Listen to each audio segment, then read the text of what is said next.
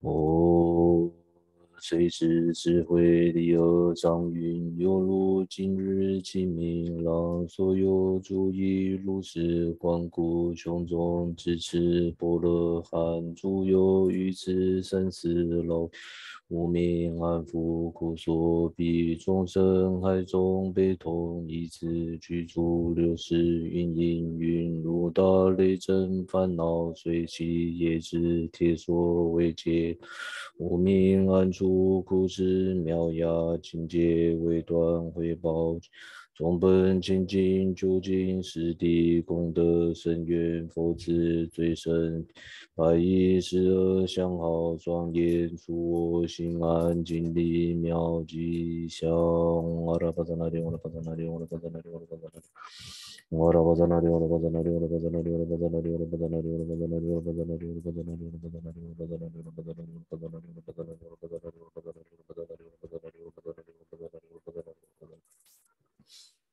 What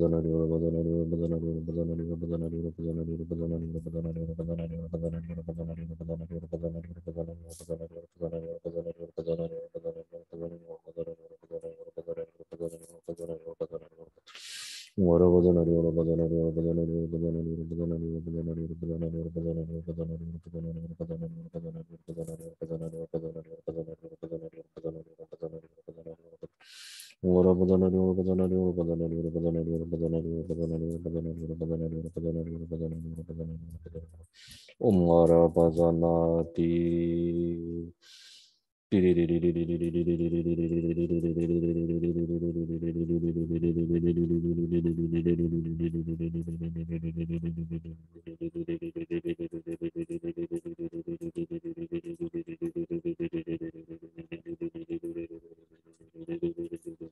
大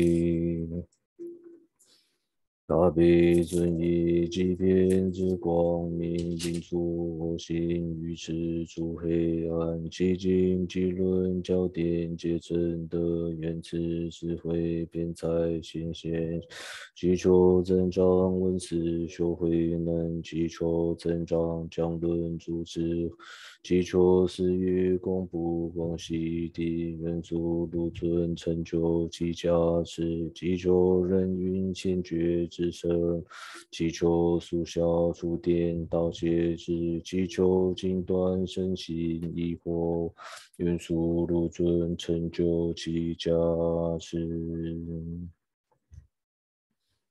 诸佛正法贤圣三宝尊，从今直至菩提我皈依。我以所修文法诸资粮，为利有情，故愿大觉成。诸佛正法贤圣三宝尊，从今直至菩提我归依。我以所修文法诸资粮，为利有情，故愿大觉成。诸佛正法贤圣三宝尊，从今直至菩提我归依。我以所修文法诸资粮，为利有情，故愿大觉成。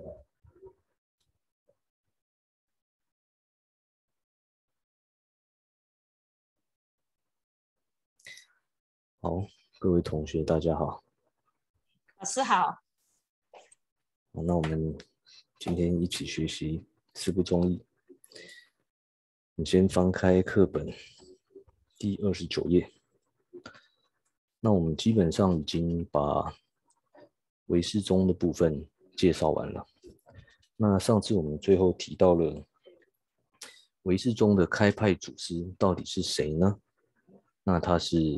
无着菩萨，那既然提到了开派祖师，也就是所谓的开大车轨，那这个开大车轨到底是如何安立的？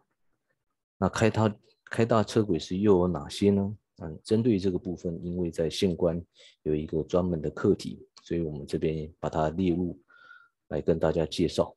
那因为呃后面陆陆续续也会介绍其中的内涵，所以我们这边就一并讲起来。好，那我们先看到这个表格。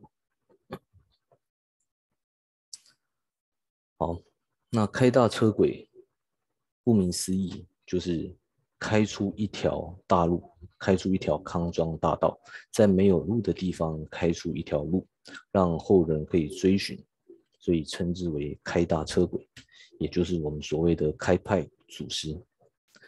那在介绍何谓开大车轨师的时候，有它的定义。那我们可以看到这下面，这是我们广芒学派，也就是姜木阳大师在《县官辨析》当中所提到的一个定义。那这边说到开大车轨师的定义是什么呢？不依人生相之其他事论，能于佛语善为解说之圣者菩萨形象者。所以这边说到了开大车轨时有几个条件。首先呢，这个开大车轨师他必须是来解释佛语的，而且它是上为解说，所以提到了上为解说。解说什么呢？对于佛语上为解说。那他解说佛语的时候是怎么样一个状态来解释呢？他是不依赖世论的，不依赖其他的世论。也就是说，他在解释佛语的时候，他是依凭着自力，以自己的力量。来去做解释的，当然这边的力量是指说他不依赖其他祖师所造的世论来做解释，而是就凭他的力量，当然佛陀的加持必须在其中，然后以他的力量呢，他去诠释佛陀的密意，无误没有颠倒的宣说佛陀的意趣。那这个世论是怎么样的一个世论呢？是指说。泛指所有的世论都包含在这其中呢，还是指哪些世论呢？所以这边提到的其他世论所指的是说，并不是一个人人生形象的这种人他所造的世论，所以他不依赖人生像的其他世论。所以这个世论可能有很多不同的人去著作，或者说不同的形象的。普特伽罗著作包含说，如果是以慈氏弥勒菩萨著作的话，那弥勒菩萨他算不算人身像呢？啊，严格来讲，因为他是在多帅天，所以他是天生天生像，他并不是一个人身像。这边的人身像是譬如像我们现在有这样的血肉之躯的一个人身像，所以这边所指的世论是一个人的形象，而且他是一个血肉之躯的一种人生形象，他所造的世论。所以这边讲到的开大车轨师，他必须要具备一个条件是什么呢？他不依赖的这种是人生形象所造的世论，并且他能够对于佛语尚为解说的圣者菩萨形象。那最后提到的，他必须是一个圣者菩萨形象，是什么意思呢？为什么要加个形象？它不单纯只是一个圣者菩萨，就可以是。开大车轨师，应该说开大车轨师不一定就一定是圣者菩萨，他有可能是圣者菩萨像。什么意思呢？也就是说，开大车轨师当中有一种不是普圣者菩萨，那是什么？就是他是佛，他是佛，但是他以菩萨的形象呈现，就好比说我们在这个地方提到的慈氏弥勒。慈氏弥勒呢？他是实际上他已经成佛了，因为我们之前有介绍过，所有的诸佛在大乘的宗义当中，他们认为说，所有的佛他成佛，他最先最先一定是在色界的密言刹土、色就今天密言刹土当中先成佛了。成佛以后呢，才会示现十二相成道，就是我们现在知道的，从降生多帅乃至到人世间，然后。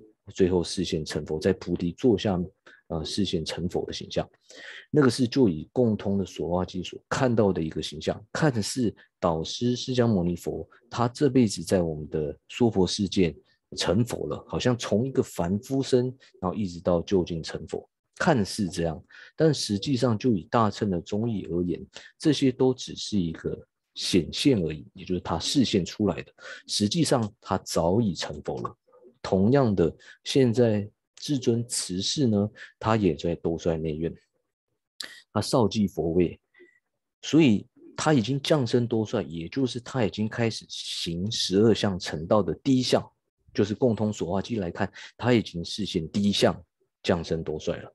所以严格而言，在解释佛陀意趣的这个至尊慈氏，或者照现观庄严论的这个至尊慈氏呢，他是佛，在我们的学派当中会承许说他就是佛，但是他又是开大车轨师，所以如果在开大车轨师的定义当中，如果只局限于圣者菩萨者，或者说只局限于圣者菩萨，并没有加形象者的话，那就表示我们必须承许。至尊慈慈氏呢，他是圣者菩萨，然而他并不是菩萨，他已经是佛了。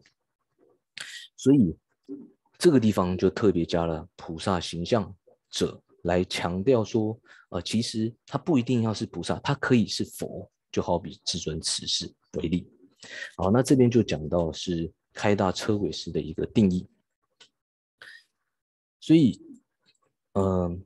既然说到开大车轨师，它前面有加一个大字，开大车轨，它这个车轨不是一个小小的车轨而已，不是我们像脚踏车这样的小轮胎压过去一个小车轨，它是大车轨。所谓大车轨，也就是说它必须要能够广传的，对于它的一个它所呃著述的一些概念，它所立的宗义是能够广传的，而且它是以以很广。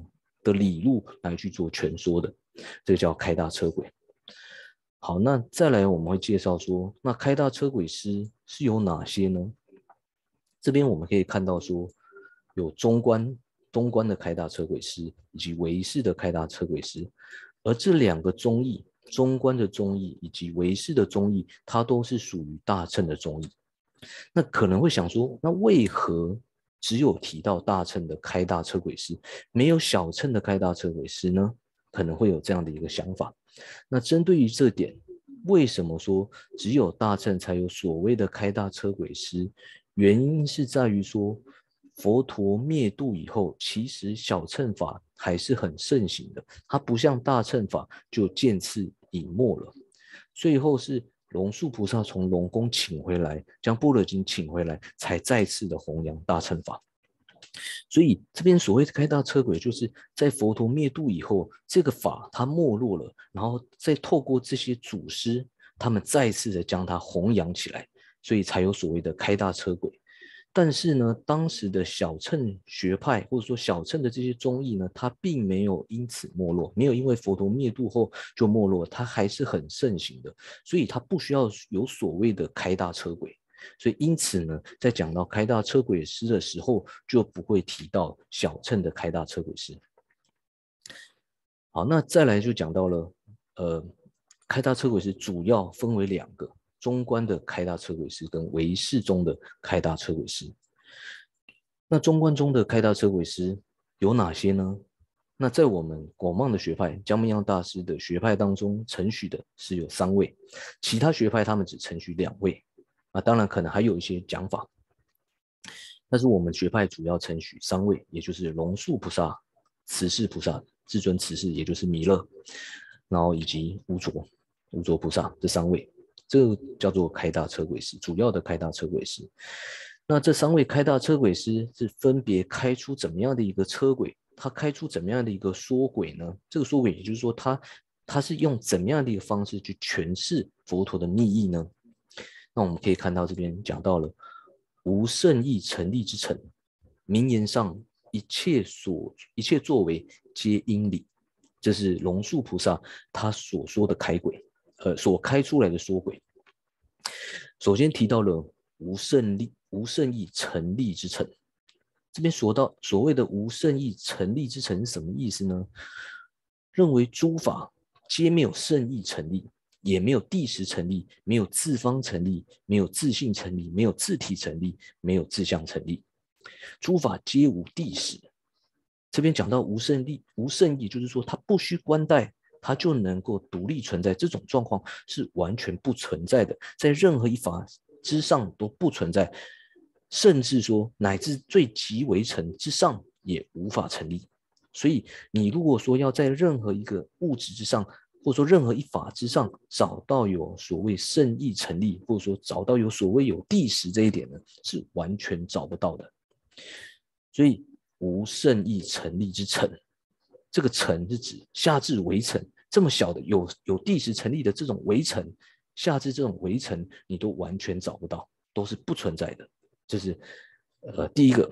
第二个提到说，虽然说这些地势成立是完全不存在的，但是呢，诸法能不能安立呢？是可以安立的。他们是如何安立的呢？是说在名言之上，一切作为皆因理。在名言之上呢，一切诸法皆可安立。但是就以圣意或者说以地时的角度来看待诸法时，诸法皆不存在。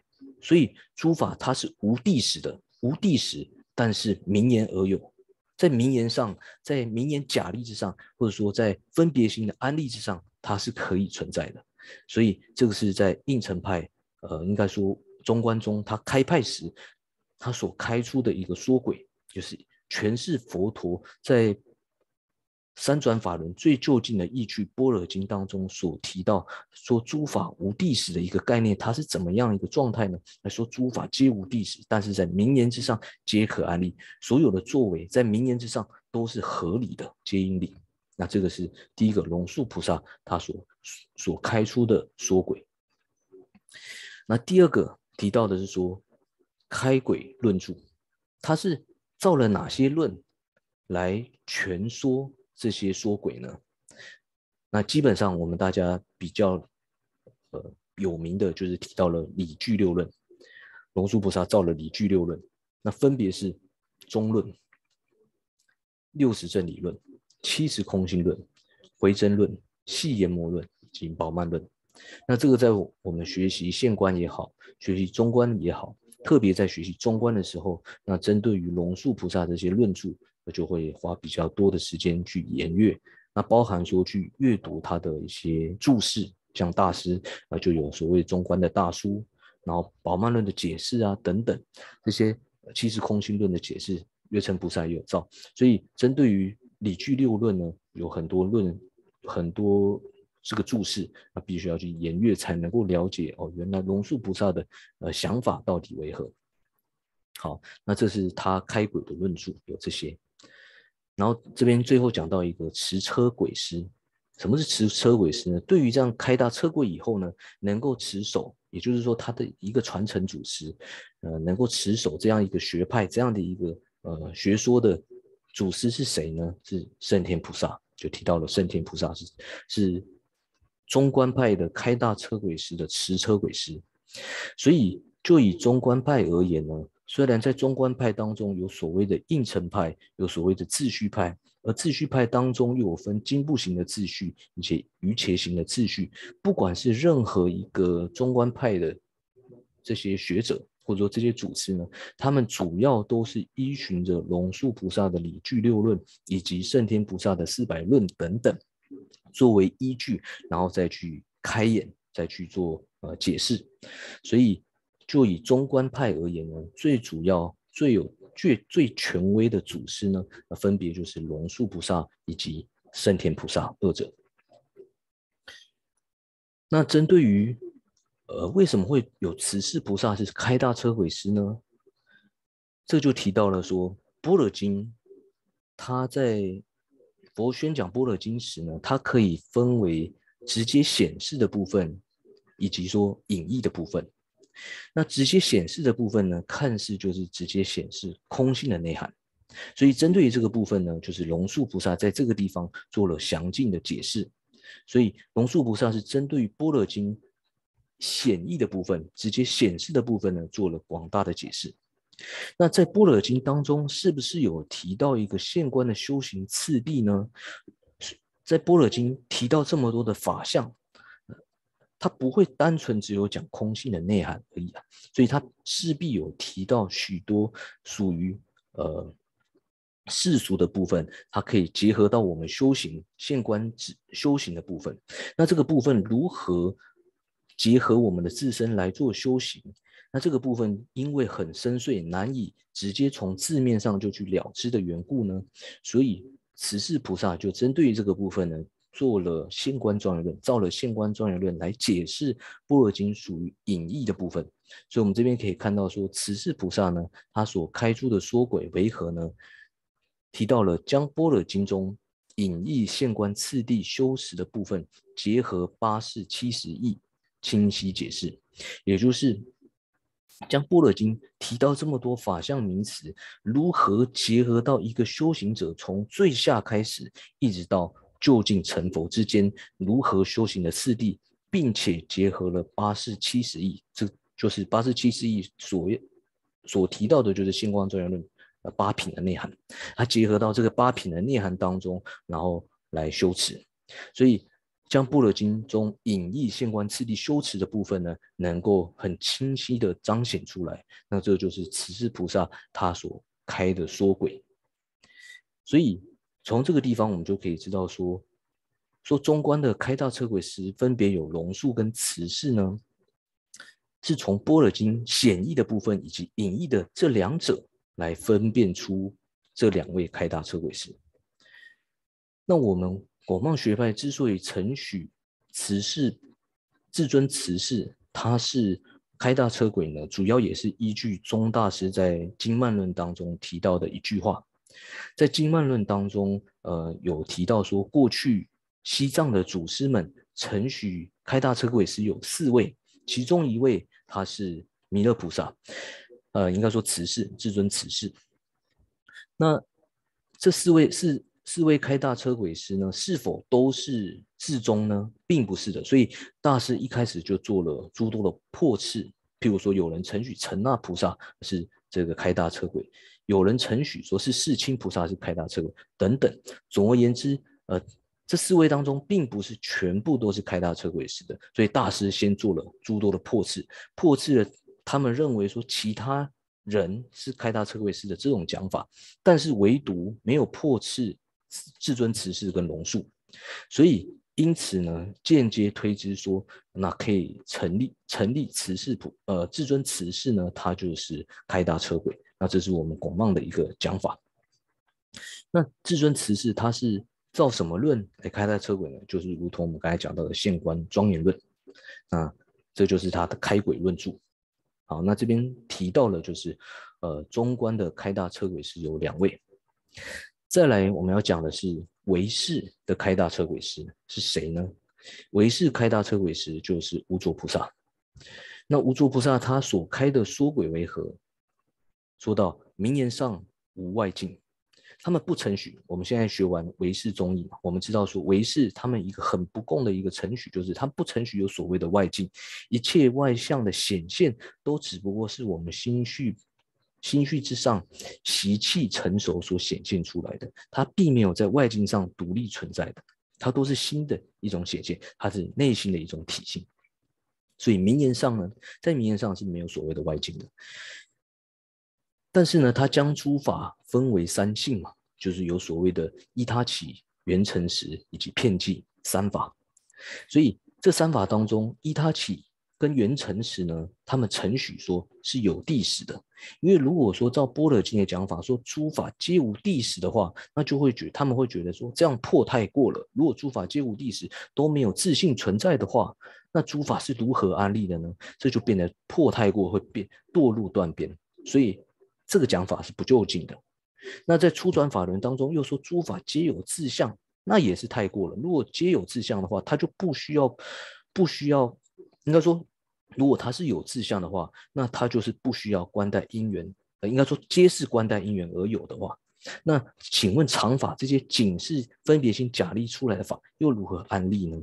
所以初转法轮讲的东西也是太过了，那就会变堕入长边。所以这两种讲法皆不可，皆不可取。于是第三转法轮在解生密经当中，将这三将诸法分为三性，分别为依他起、缘成实以及片剂三法。那这三法当中，哪些是有地时，哪些是无地时？那讲得很清楚，这样就不会堕入长断二边。所以他们提到了有地时的法是哪些呢？分别就是依他起跟缘成实的法。那依他起，我们之前学过，就是只要是实事，只要是无常法，依赖因缘而生的法，它都是所谓的依他起，依他依其他的因缘而产生的，依其他因缘而起的，称之为依他起。所以这个依他起以后大家看到，你就要理解说，所谓的依他起的意思是依赖其他因缘而生的法。那反过来讲，它就是无常法，因为无常法才是依赖因缘而生的嘛，常法它不会有因缘可言的。所以依他起直接理解为就是无常法。那缘成时直接理解的就是把它当做是空性的法。二种我执的所执境为空的这种法，所以它就是所谓的空性，在唯识派就认为是空性，就是所谓的原成实。那另外一个片剂是什么呢？除了无常法以外，还有空性的法。排除这两法，还有什么存在的法呢？就唯有常法了嘛，非空性的常法了。所以非空性的常法，它也是法，它也是存在的。那这个就可以称之为片剂。所以片剂所指的就是仅由分别心假立的这些法存在的这些东东西，仅由分别心假立，它不用观待因缘而有的这些法，就称之为片剂。好比像虚空、常法、抽象的这些东西，它都是属于片剂。所以法就可以分为这三类。那这三类当当中呢，依他起缘成时，它是有地识的，它是真实存在，它并不是只是名名言假立，并不是只是分别心假立的，所以它是有地识的。而片剂呢，它是因为它只是依赖分别心假立而有，所以称之为无地识。所以在唯识来讲，就可以分出依他起缘成时是有地识，而片剂是无地识的。这就是无着菩萨在诠释唯识中时，呃，说出一个很主要的一个观点。那这个观点，呃，也是我们必须要牢记在心里面的。我们要知道说，哎，唯识跟中观它不共之处在什么地方？或者说四部中医当中讲到唯识中，他们最主要的一个论述是什么？这我们自己在心里面要很清楚。首先，他们不承许外境，并且将诸法分为三性：依他起缘成时是有地识，片剂是无地识。这个是在我讲到唯识中的时候一个很主要的程序。好，那这是他所开的说轨。那他在开演这些说轨时，他是依着他造了怎么样一个论呢？分别是五部地论及两种摄颂。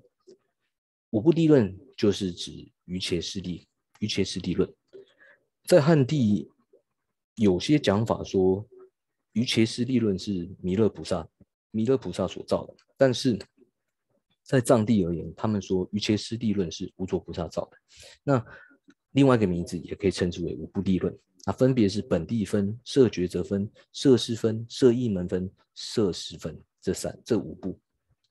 那二色颂就是指阿毗达摩集论以及色大乘色大乘论啊，那分别是呃这五部地论以及两种色颂来开演这个唯识的观点。当然，无著菩萨所造的论并不是仅仅只有这些，但是在诠释唯识时，那他是主要依着这些论来做解释的。当然，龙树呃无说菩萨他也有解释，譬如说宝性论。以及说，呃，金装言论，这都是解释中观的意趣。所以，就以无着菩萨本身而言呢，他是中观的行者，中观中，他是持中观中的，但是他所宣扬的，他所弘扬的却是唯识的观点。好，那再来说到了唯识的持车轨是有哪些呢？就是持唯识中的这些祖师有哪些？他不是开大车轨师，但是他持的剑是唯识剑。那这些比较有名的持七班智达当中，分别就有世亲菩萨啊，有成那菩萨，有安慧论师，有法称法称论师、法护法护论师等等。那这些都是持持唯识中的持车轨师。好，那以上这三位呢，就是呃开大车轨师。那为什么？我们还会看到说，哎，有所谓的应承开大车轨师，有秩序的开大车轨师，还有瑜伽行秩序派的开大车轨师，这是怎么样呢？他并不是真正的开大车轨师，他只是以从全说之门来讲说，呃，他类似像开大车轨师的缘故，所以呃，在这个地方把它列进来。但是他并不是真正的开大车轨师，因为开大车轨师他是必须要具备一个不依人身相的其他事论嘛。但是我们后面讲到的佛物论师啊、轻辩论师这些，他们都是主要依循龙树菩萨所造的论著来去做解释的嘛，所以它不严格来讲，它不符合开大车轨师、开大车轨师的定义。但是因为呃，他所做的跟开大车轨师有点类似，因为譬如说，就以佛护论师，他开出的就是应成派的开大车轨。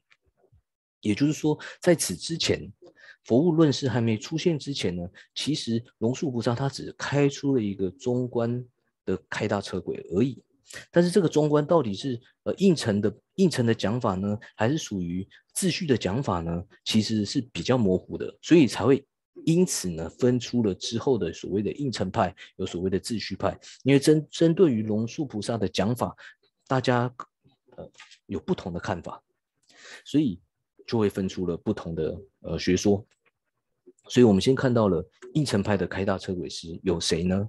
那在这个地方，我们的学派也就是广茂学派江明阳大师说，应城派的开大车轨师是佛护论师，但是其他学派他们会觉得是月称论师，所以有不同的讲法。那我们这个地方是以呃江明阳大师为主，所以呃江明阳大师说佛护论师是应城派的开大车轨师，那他所开出的说轨为何呢？无些许自信成立之成，名言上为名言假有，为名言假有，一切作为皆因理。这个讲法跟龙树菩萨的呃所开的说轨是差不多的。也就是说，诸法它没有任何一点自信成立的围城，下至围城你都找不到。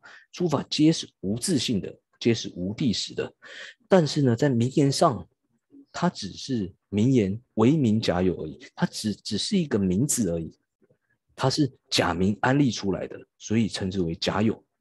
因为如果去寻找诸法真实存在之处时，你无法找到一个诸法能安立之处，所以寻找诸法存在之处时，最后找不到的缘故，只能只能说它既然存在，但是却又找不到，又是如何存在呢？最后只好归归于说，它只是一个名言假立而有的，它只是分别心假立而有的，是这个缘故。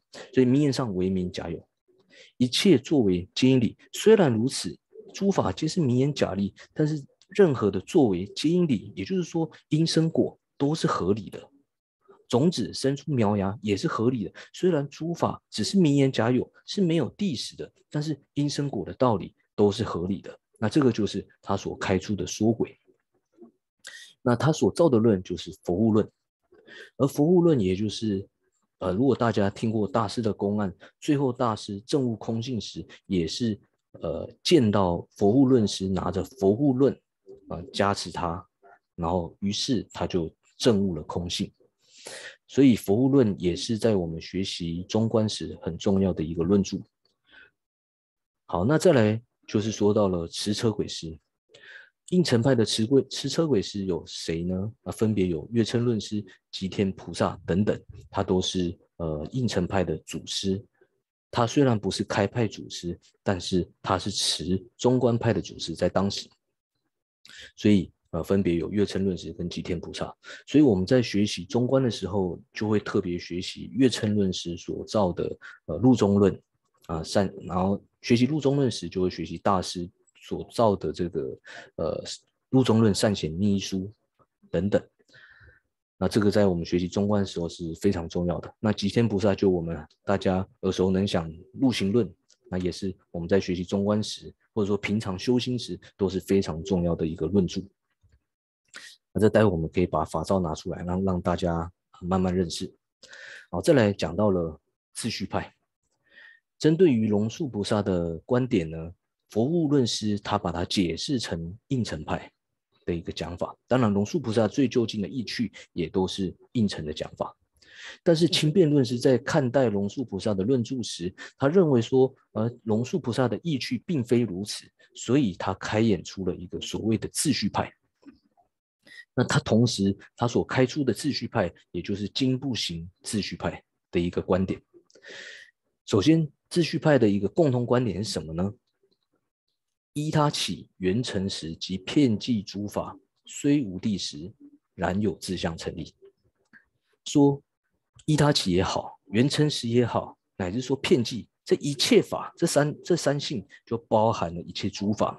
这一切法，我们直接把它讲说，诸法虽无地时，他们不承许诸法是有地时的，但是呢，志向是成立的。也就是说，诸法虽无地时，然有志向，它是有志向的。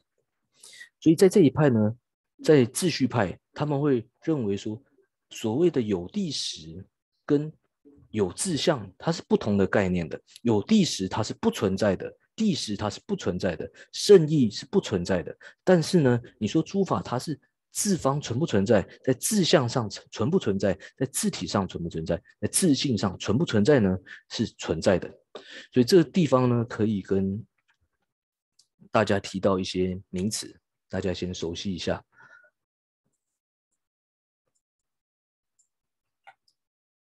我们这边提到了。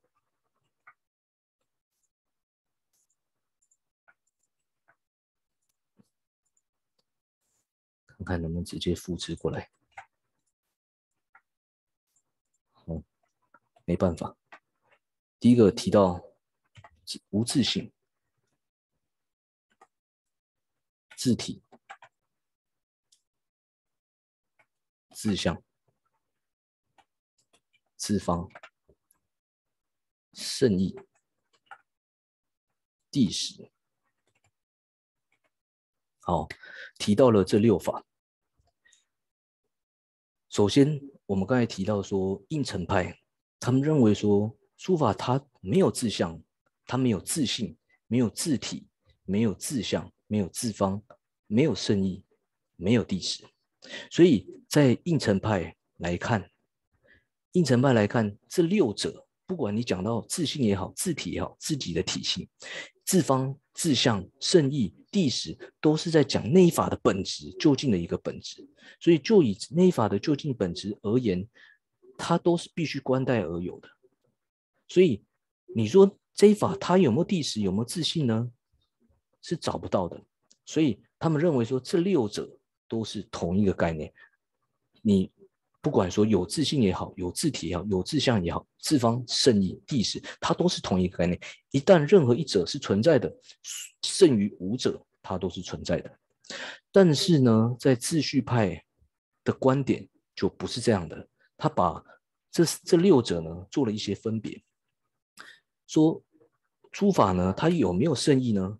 是没有圣意的，是圣意上是不成立的。永不地时呢？地时上也是不成立的，因为他们认为说诸法是没有地时的，在圣意上是不存不存在的。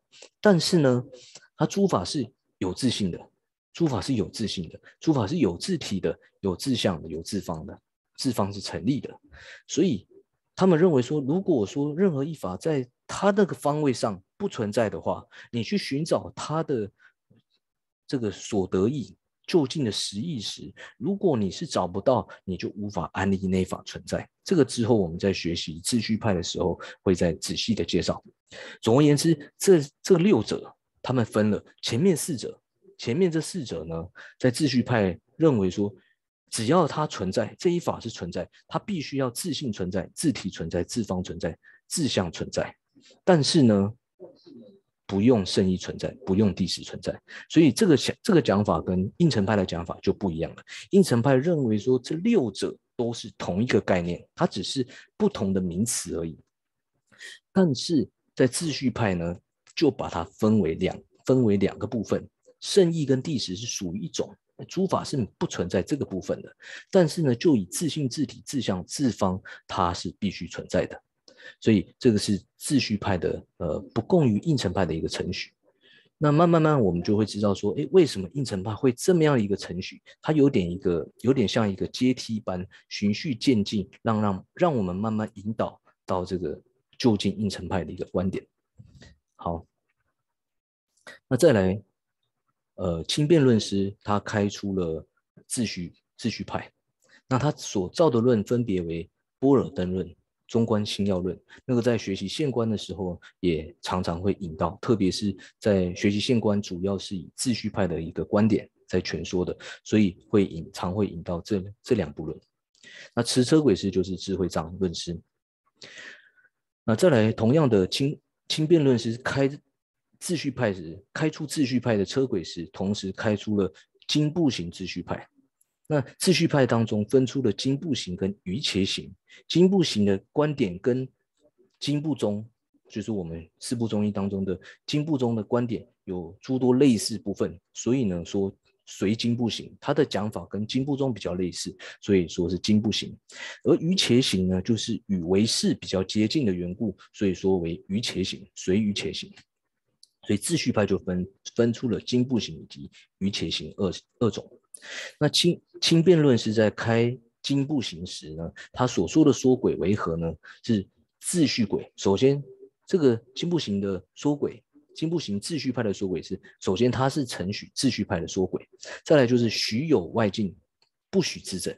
那唯一的差别就是，同样诸法皆无地时，但是有志向，但虽然有志向。但是也有外境，他们承许有外境，不许自证，不承许有所谓的自证知。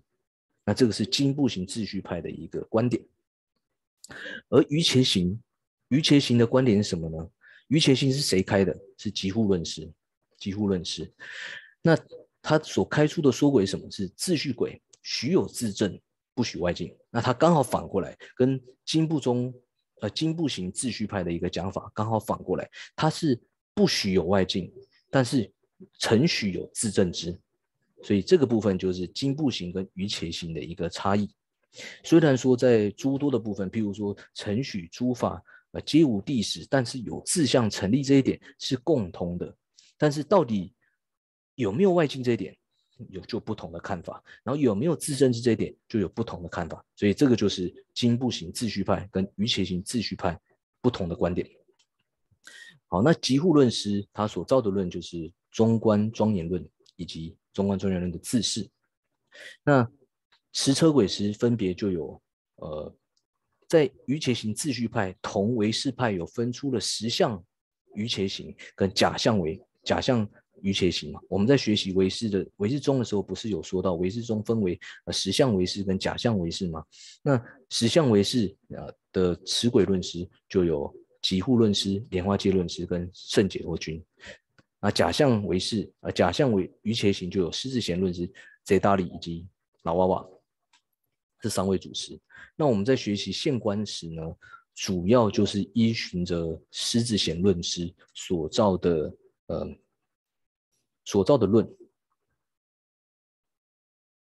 明显易书，所造的明显易书，然后来做诠释的，因为他将现观庄严论的内容呢，很清晰的解释，然后又用很精简的方式来表达，所以，呃，针对于现观庄严论八品，那做解释呢，师杰师杰论师就造了一一部叫做明显易书的论著。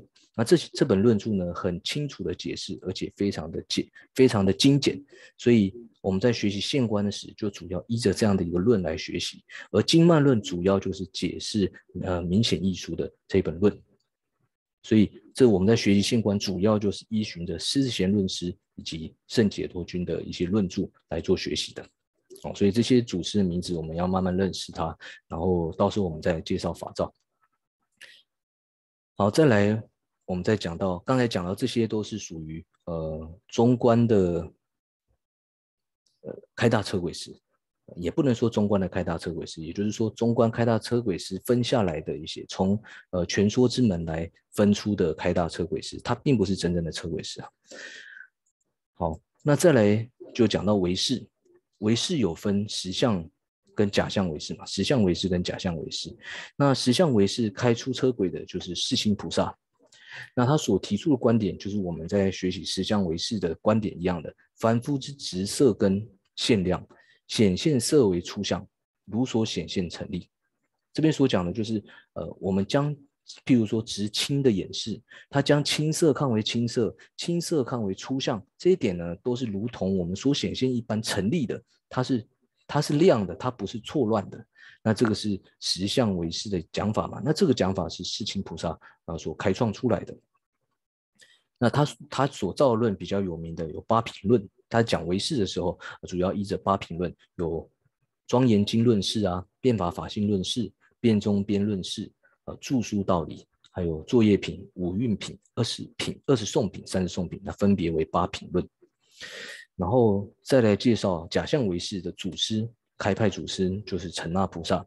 那同样的讲法就是，我们凡夫执色根的限量呢，显现色为初相，非如所显现一般成立。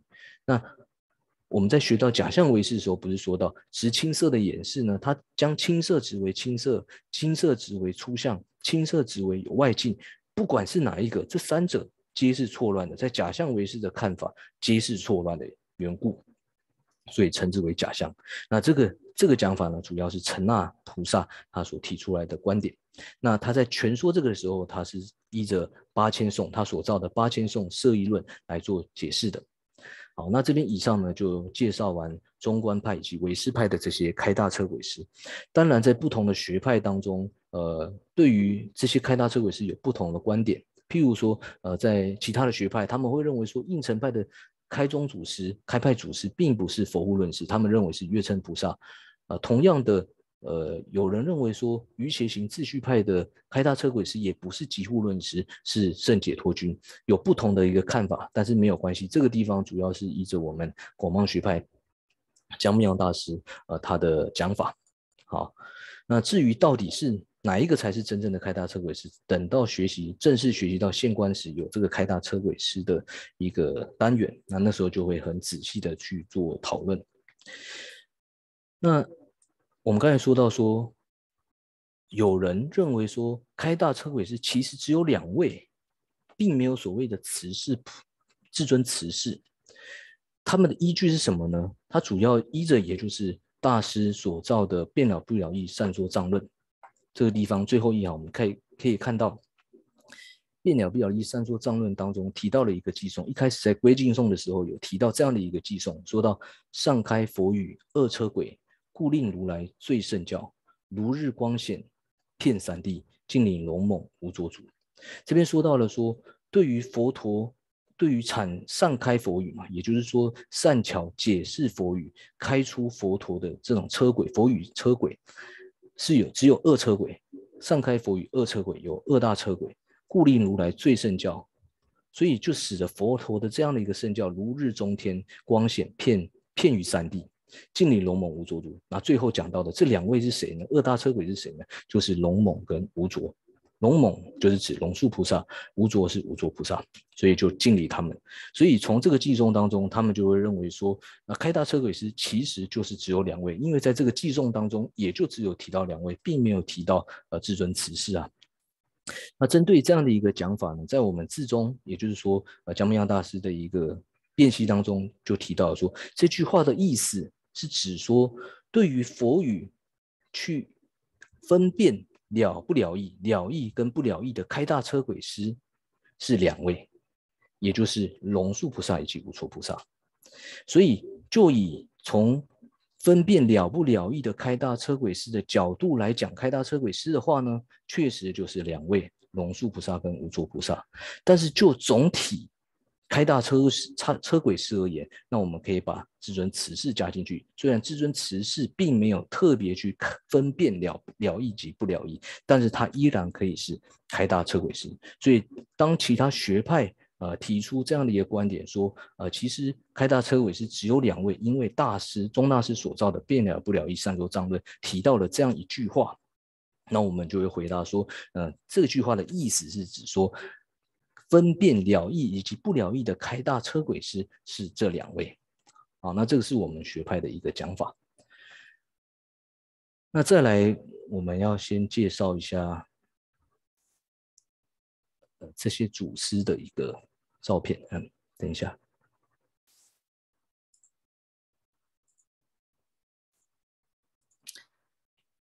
好，那这张法照，那相信大家也。都看过，那至至于说哪些祖师是呃是谁，谁是谁呢？可能或许都不清楚。那因为我们将来如果要广学，势必要对于这些祖师多多少少有点了解，所以呢，我们这边简单的做一下介绍。首先，我们刚才说到了。开大车轨师有中观的开大车轨师，以及唯识的开大车轨师嘛？那我们先从左上方来看到，也可以分为呃深见跟广行。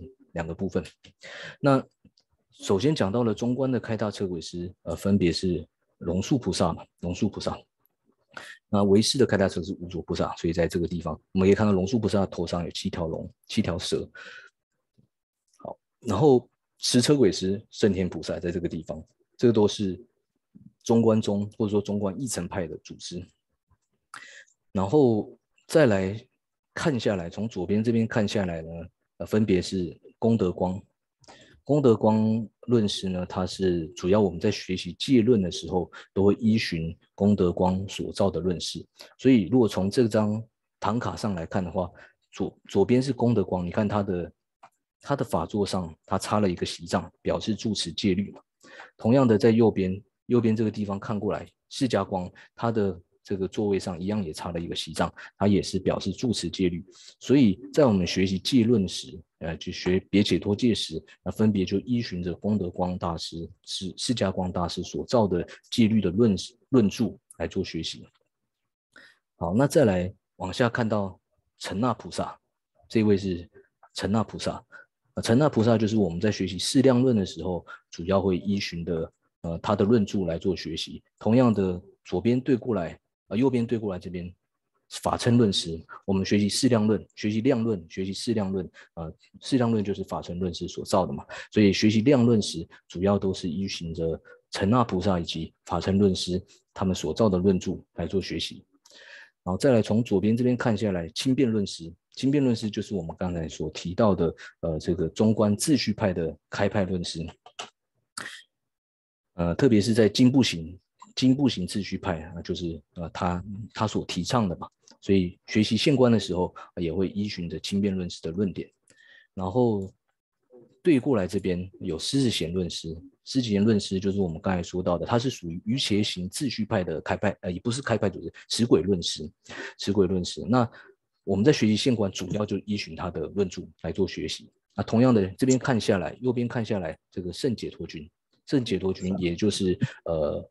这个瑜伽行秩序派的持持轨论师，所以学习现观的时候呢，主要也都是依循的这两位圣解脱君论师、狮子贤论师所造的论著在学习的。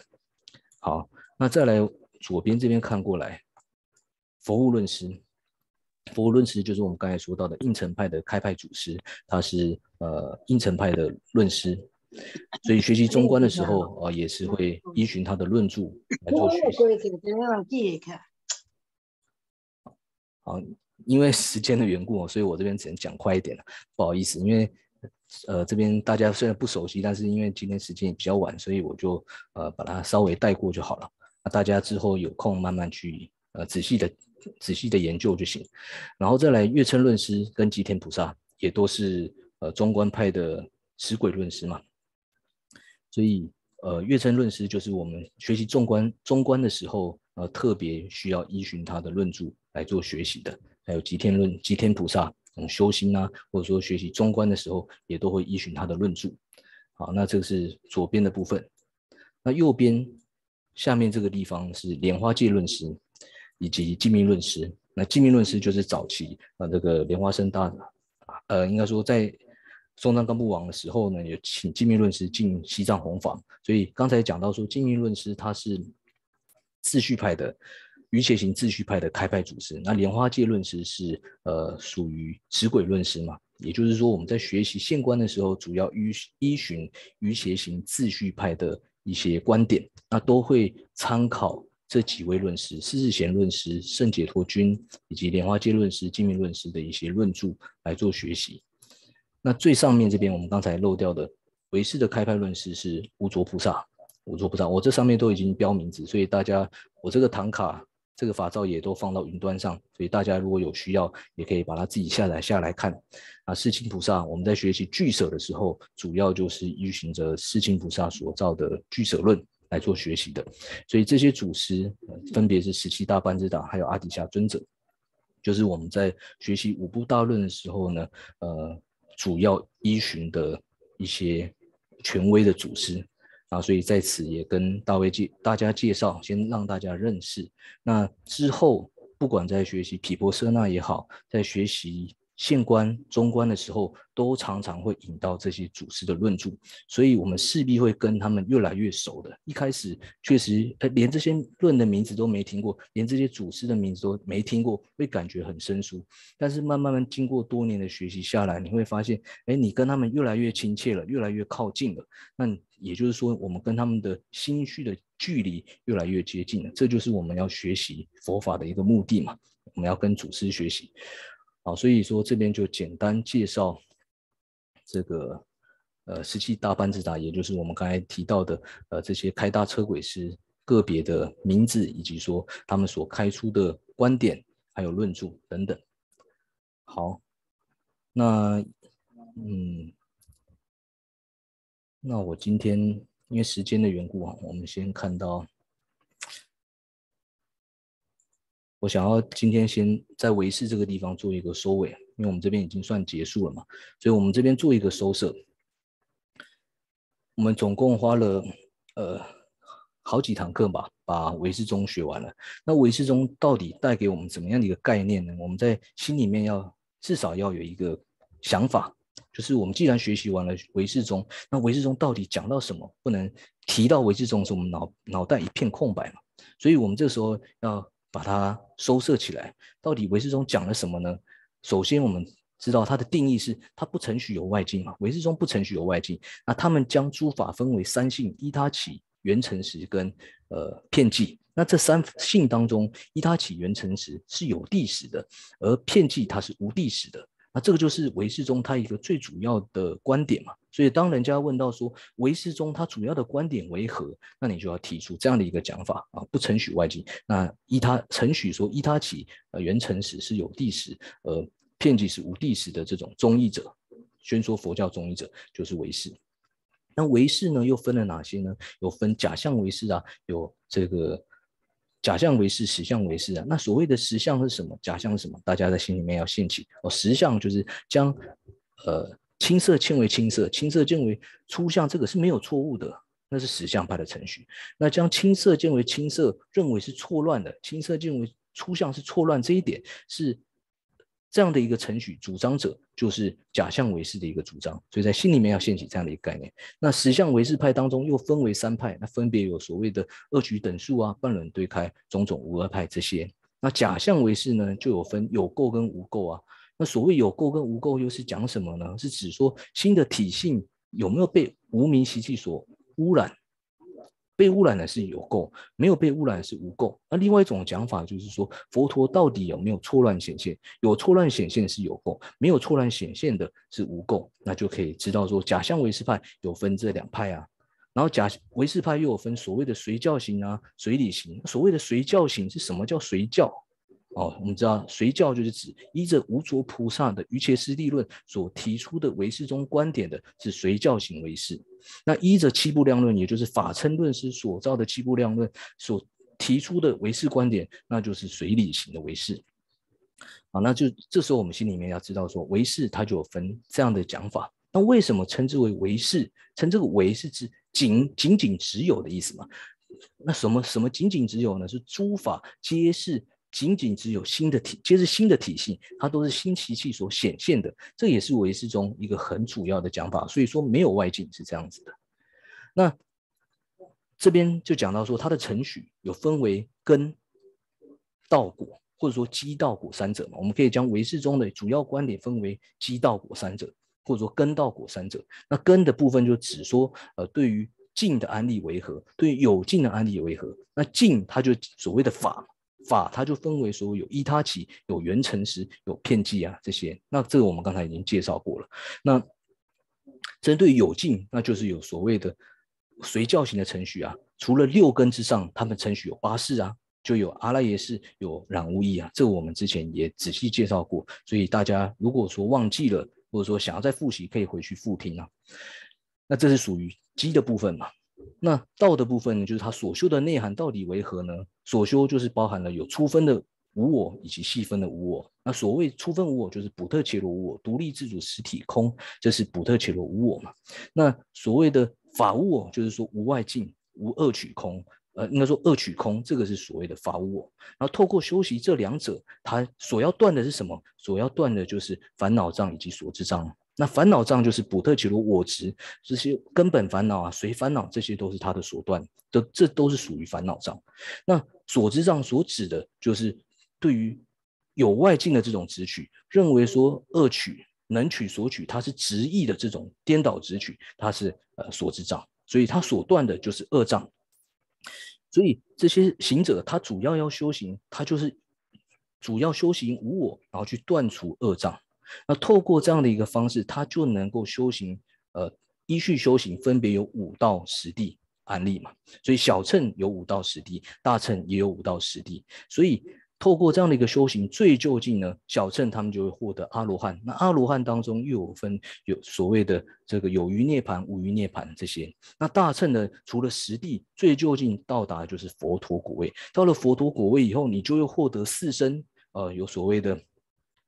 法身啊，以及报身、化身嘛。那法身当中又分了自信法身以及智慧法身。总而言之，透过这样的修行，从最初资粮道依序慢慢慢慢修行，将我执渐次的断除，让它越来越薄弱，最终连根本都断除，这种法我执也都根本断除时，那就会获得就近佛陀的果位。那这就是在唯识当中他主要提出的这些观点。那这个部分呢，因为我们。把很多县官啊，那包含说中官后面很多内容都放进来讲，所以花了比较多的时间。所以最后结赞就说到了，奉行摩尼教法者所说为是诸宗义，此文犹具善说传，智者理当欢喜录。对于佛陀的教法呢，提到为是的这种宗义呢，那在这个地方，江江密亚大师他已经很清楚的呃。做解释了，那智者一个智慧的、具有智慧的人呢，应该要很欢喜的去去入啊。好，那再来就是介绍到了中观中定义，主张没有丝毫地时成立的法的宣说，佛教中医者是中观中的定义。那这个我们就下次再做介绍啊。以上就是完整的介绍完唯识中的中医。好，那因为时间已经超过了，有没有问题？法师吉祥如意。我可以请问一下，您刚刚出的那张表，就是介绍大车轨的那张表，里面有讲到说佛护论师他的中意，他的他的见解跟龙树论师一样，但是我发现它里面有一个叫做为民安利，那是不是龙树论师其实他也有讲为民安利的这件事？这是第一个问题。是，这那请问那，嗯，那那个为民安利，那是在那个龙树论师的哪哪本著作里面会特别讲为民安利的这件事呢？呃，这个在很多地方都有提到，它不是只有单纯破斥说诸法皆有地时这一点，它同样会成立诸法是存在这一点，否则你会破太过。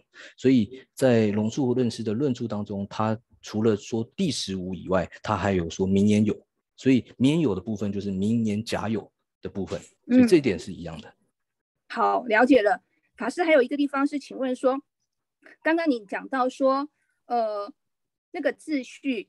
呃，经部行秩序说它的程序跟经部中相同，可是经部中不是有程序那个有自证，但是这边不程序有自证，为什么要说它跟它一样？为什么不说它跟应成派是中间是比较像的呢？是因为它的讲到你刚刚说的介绍的六个内涵，那个六六个内涵，它有三个不程序，所以说因此说它没有把它比对到应成派嘛？